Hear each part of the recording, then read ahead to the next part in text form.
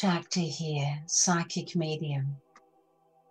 A story of a chance meeting that happened when I was on my road of traveling as a sales rep for a cosmetic company. Had a very powerful car, a six cylinder car, traveling all around the state of Victoria. Sometimes didn't quite know how to handle that powerful engine. Was rushing to an appointment along a windy road through the country lane. I heard a bang at the back of the car. Next thing I knew, I had gone off the road and over the bank and was midair. The car landed on its side and then back onto its wheels, throwing me, wrenching my body to the side of the right of me, banging my head, cutting my head open on the side of the car, inside the door. And at the time, I panicked because I could see the car was in a spin. I didn't know how to stop that. And I could see the Goulburn River that was flooded and raging coming closer towards me. I was actually going towards it, but it was frightening and it looked like it was coming towards me. And I knew if something didn't happen soon, I would be in the river and the car would be upside down. I could see that vision happening. Then, as I was getting closer to the river, the car still spinning, still sliding towards the river. There had been a lot of rain and it was very wet. I saw this woman with long blonde hair in a beautiful peasant dress and a garland around her head and she had a bunch of flowers she was reaching out to give to me. And then all of a sudden, I felt the car stop. I didn't do anything. And I looked down and I still had my hand on the handbrake, on the foot pedal, to try and stop all this motion of the car racing towards the river in some sort of panic. But because I had slammed on the brakes and it was spinning on a slope, the car just slid closer and closer to the river. But when this beautiful woman in spirit, and I knew she was an aberration, an aberration is spirit, a person in spirit. I didn't know this person, but she was so beautiful and so serene and so peaceful.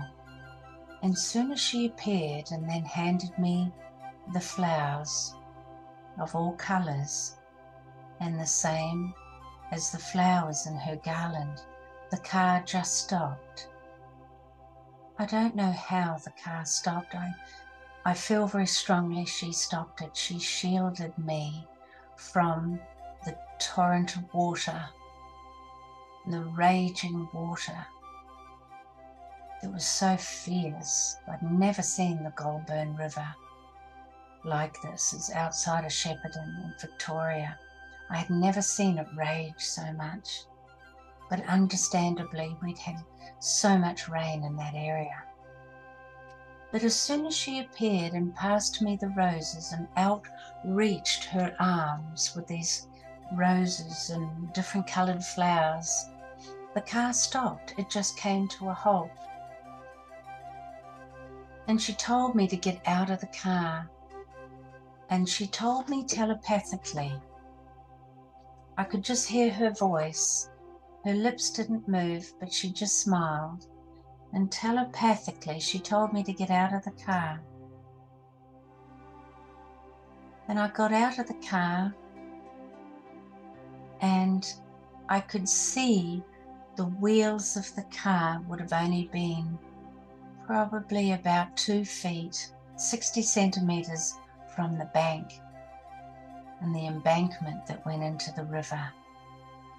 It was so close that I nearly went into the river.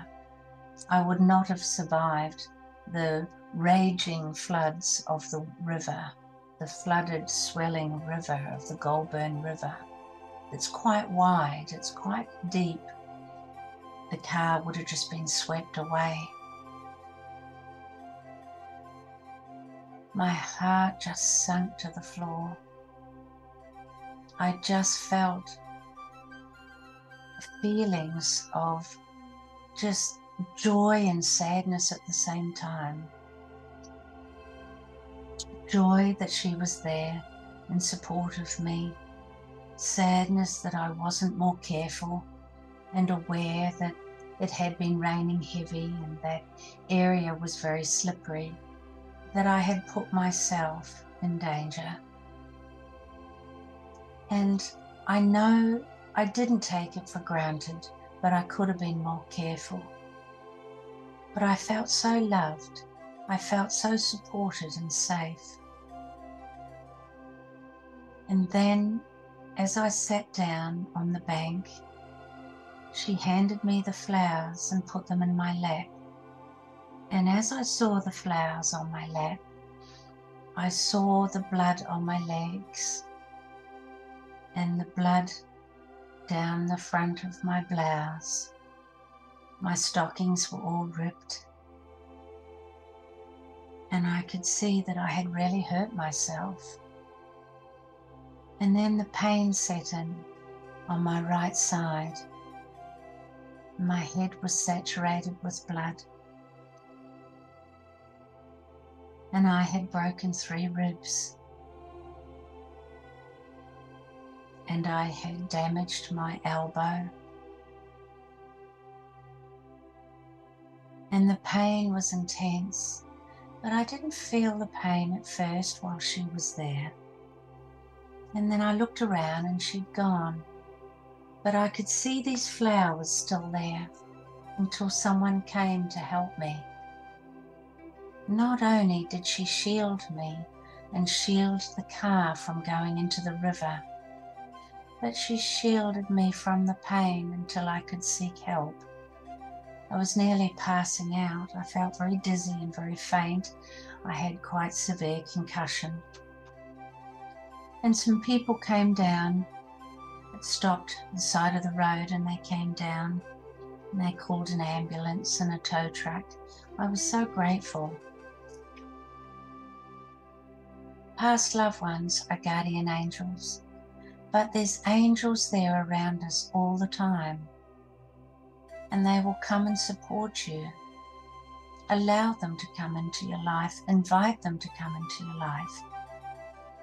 I was always aware that there was always protection around me. I never took it for granted, but I was always aware that we are protected, we are safe, and we are supported. And as I lay in the hospital bed and having x rays to diagnose the three broken ribs and cut open in the, the head, uh, quite a severe head wound, it was important that I knew it could have been much worse, but it wasn't. So I didn't focus on that. I focused on the help and love and support. And then when I managed to get home, I was in hospital for a couple of days and then I uh, a ride home. I hired a car and I had a friend that was able to take me home. And that night when I got home, I felt so relieved to be home, so relieved of what could have happened but didn't, and what did happen and that didn't. The beautiful woman in spirit. I don't know her name, I don't know who she was, I've never seen her again. She came to me that night and brought me more flowers. And she kissed me on the forehead and then she left and I have never seen her again.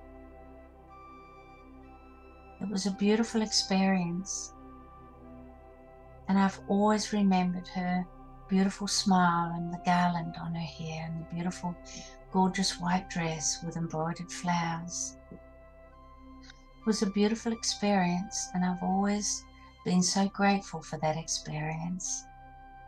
She was so beautiful and so loving. She helped me to stay calm in a very stressful situation and I'll always be very grateful. One of the many stories I love to share. Namaste.